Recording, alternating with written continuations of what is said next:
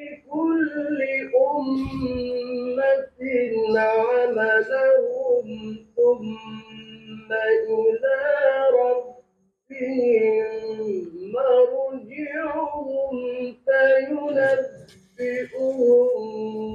بما كانوا يعملون.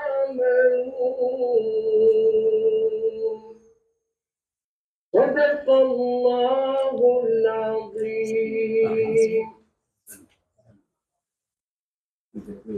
الله الرحمن الرحيم. أحمد الرحمن ذو الفضل علي ربنا المعبود ذو العرش العلي وصلاة الله مع تسليمه الذي جاء بشرع مكمل سلام الله مني عليكم وتحايا تؤدى للعلي الشعر أشرق وجهه وتهللا وتراقصت بقدومكم رتب العلا والشطر في إيوانه متبسم والقهوة الصهباء دارت أولا والقلب ذي نبضاته لو ترجمت لسمعت أهلا بالحبيب ويا هلا يتزاحم الترحيب يتزاحم الترحيب يسبق بعضه بعضا.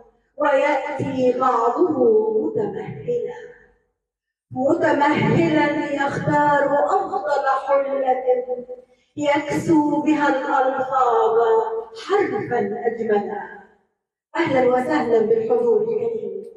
في نقابة الكتاب بالقليوبية برئاسة معالي المستشار شريف العروس نقيب الكتاب بالقليوبية تحت رعاية الأستاذ دكتور علاء عبد الهادي نقيب عام الكتاب والأمين العام لاتحاد الأدباء والكتاب العرب تقيم نقابتنا الموقرة عرسها الثقافي ومؤتمر اليوم الواحد بعنوان المشهد الشعري في القليوبية بين الفصحى والعامية. دورة الراحل الدكتور محمد يحيى حجاج للعام 2023 المؤتمر يرأسه الأستاذة الدكتورة سوريا العسيسي نرحب بها شكرا. شكرا الأمين العام للمؤتمر معالي المستشار شريف العبود مؤتمرنا مؤتمرنا اليوم فرصة للتقارب بين مسؤولي الحركة الثقافية في مصر. على اعتبار أن المجال الثقافي هو المجال الأوفر حظا في الحفاظ على الهوية المصرية. ولنبدأ الآن ولنبدأ الآن فاعليات المؤتمر وكلمة تمثل معالي النقيب العام يلقيها علينا الشاعر القدير والإعلامي الكبير السيد حسن أمين عام آه، الصندوق بالنقابات العامة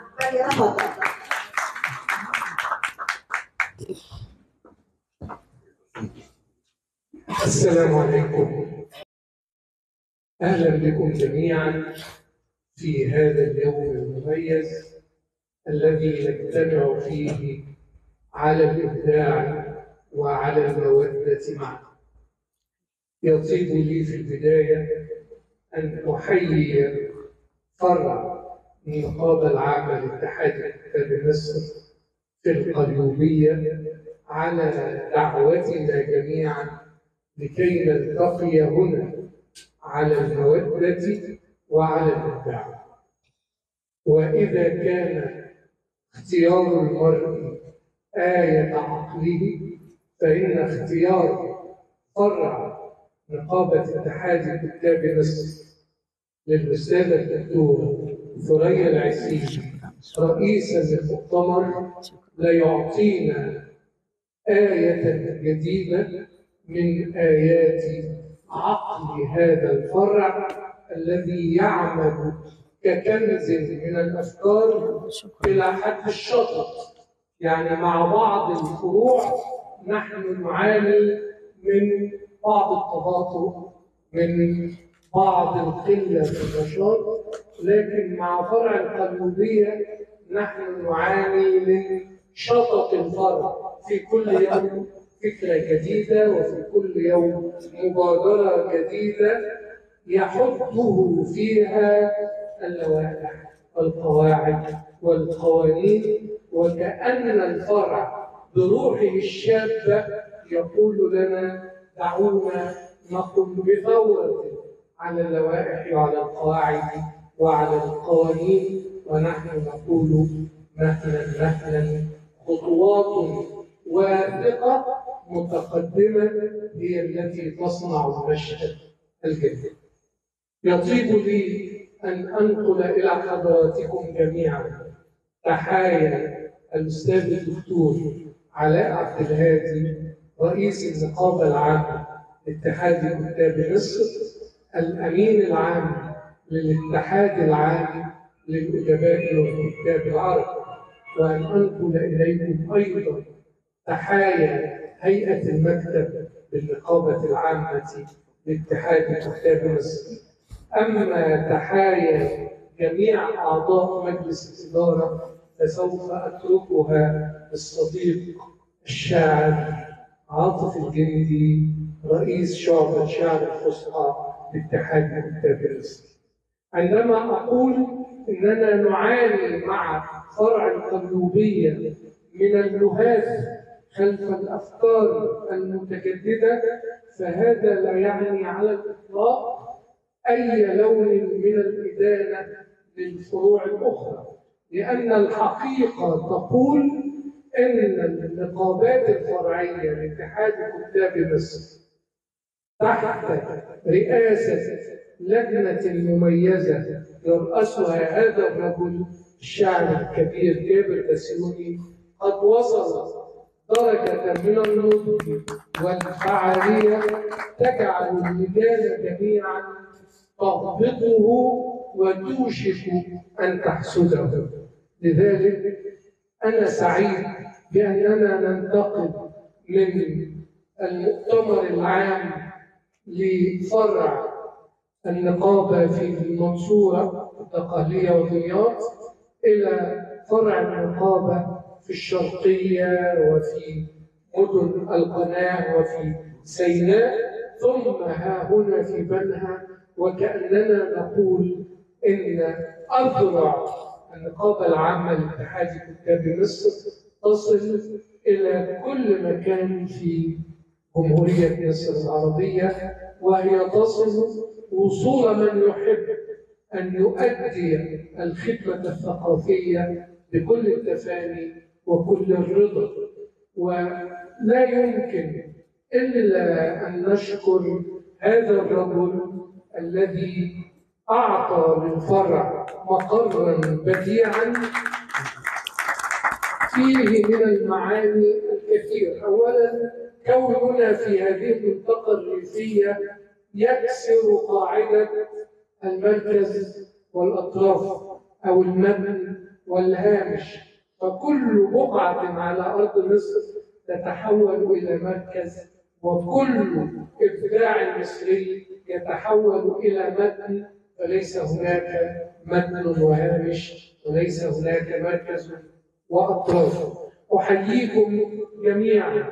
وبالطبع أحيي النقيب نقيب النقابة الفرعية لاتحاد الكتاب القليوبية الصديق الأديب شريف العجوز. ومعه هذا المجلس النشط جدا الشاب جدا الشاعر محمد الشحات نائب النقيب الدكتورة إكرام السكرتير العام وأيضا الأدباء المميزون الأستاذ عبد الحميد ضحى والأسير الأستاذ أمين عثمان. كل هؤلاء كل هؤلاء يستحقون منا التحية. أما عصام بدر فينبغي أن أبعده عني قليلا حتى أراه لأنه أقرب إلي من أن أراه أو أن أعرف به خاصة أنه ينافسني في مقعد أمين الصندوق ومع دوك لابن كارك لذلك. بدر الشعر العربي يستحق تحية خاصة. المكرمون في هذا المؤتمر يستحقون التحية نعم لكن الفرع يستحق تحية أكبر على أن اختار هؤلاء المميزين لكي يقول نعم لدينا في القليوبية هؤلاء الكبار الذين يملؤون الحياة الثقافية في مصر شعرا وقصا وفنا تشكيليا. في شتى المجالات هناك هذا الحضور الثقافي الكبير. أود أن أشكر كل واحد من الحاضرين باسمه لأنكم جميعا تستحقون التحية لكن كتب علينا أن نحيا بالرموز فتحيتي لفرع نقابة اتحاد كتاب مصر القليوبية هي تحية لكل واحد من الحاضرين ولكل أديب من أدباء القليوبية. شكرا لكم وعلى الخير والإبداع نلتقي دائما